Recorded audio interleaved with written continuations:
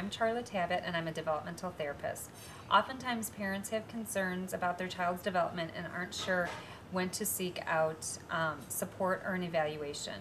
I often recommend to parents if they notice that their child is delayed in sitting, walking, or if they aren't using many words and there's some concerns about their language development, or if there's concerns about their play, if they're playing appropriate with toys or they playing with what they should be, those are definitely times to seek out some help and possibly getting an evaluation.